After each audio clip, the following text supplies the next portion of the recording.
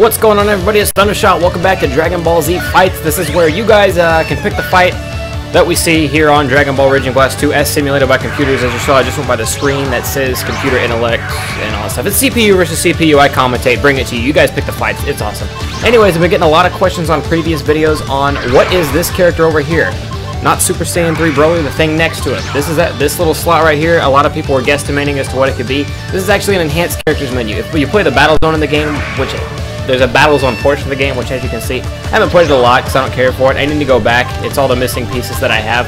Battle Zone is the only part of this game I haven't 100% completed. But you can get enhanced characters, and enhanced characters have certain upgrades and all this stuff. Their power levels are different. They come preset, but they get to a really high power level you cannot normally achieve through customization. So it's kind of a cool little bonus um, that you can unlock. We could play with some super enhanced characters, but I'm going to leave enhanced characters alone because I don't have them all unlocked. That was just to show you guys what the character is. I get a lot of questions on who that is. Anyways, your first fight of the day coming at you is going to be Saibaman, whose name I've been saying wrong. People correct me all the time. I always say it's Shibaman. It's, it, I don't know. I've always called it that. I don't know why. So if I slip up and call it Shibaman, please don't get mad at me. I know it's Saibaman. I just get it wrong sometimes.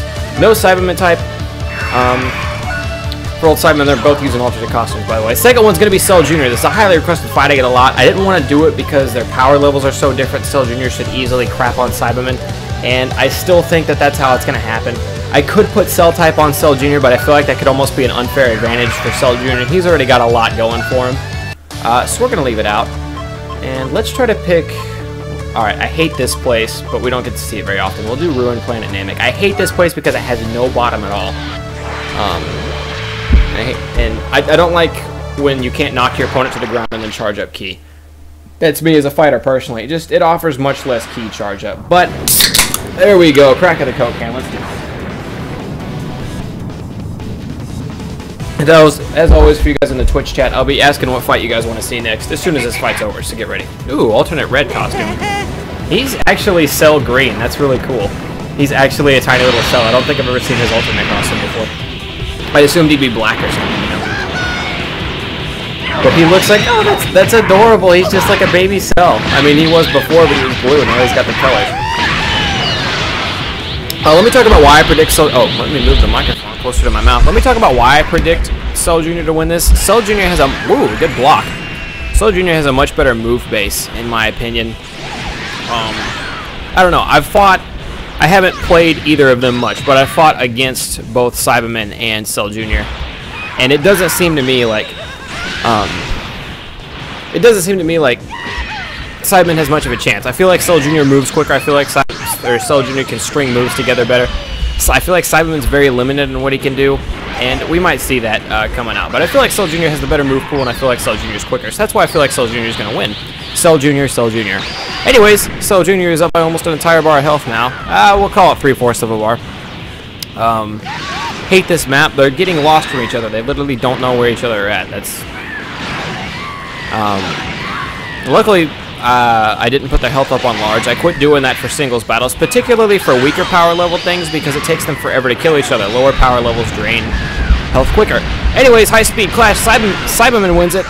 Snell, yeah, Snell. Cell snap vanishes away. You'll have to forgive me. I just woke up. I was sleeping. Oh, that's a cool little attack.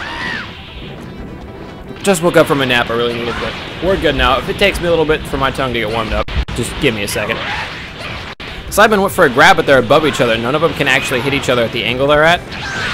Until Cell Jr. snap vanishes twice, gets two hits off, and then goes for a third and starts to string uh, Saibamen around. They actually found one of the few places on this map with land, which is really cool. And they get to charge up a little bit. Cell Jr. had full ki, or had one full ki bar out of two. Innocent Rush, let's see if it connects. It does. Innocent Rush is a pretty cool move. As you can see, it's just a lot of ass kickery, but there we go. Ends it with a kick to the gut, and then he's gonna knock him away. Cell Jr. stringing together a really good, uh, really good move pool here. Really good string of attacks. He's now at full power. I forget what his ultimate is, to be completely honest. I know he's already fired off a Super Kamehameha. I don't think that's his ultimate. That's not a bad move either. Saibaman has the ability to put acid on someone, which just stuns them. Kamehameha wave to the face. Excuse me, Coke gives me the burps. Anyways, Saibaman has the ability to paralyze you, which is a good move in itself. It allowed him to get that other move on Cell Jr. where he grabbed him and slapped him in the head a bunch. But Saibaman really needs a comeback. He hasn't even drained Cell Jr. one single bar of health yet. Kamehameha Wave. Luckily, Saibamen gets out of the way. He's been dodging attacks fairly decently. He's just hasn't been putting any moves on Cell Jr. himself.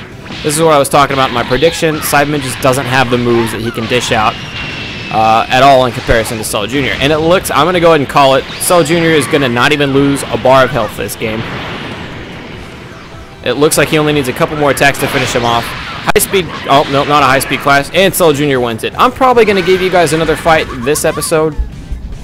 Maybe not. I don't know. We'll get it figured out. But there's your first fight of the day. Twitch chat, go ahead and tell me what you guys want to see next. And if you're on YouTube, I will see you in a second.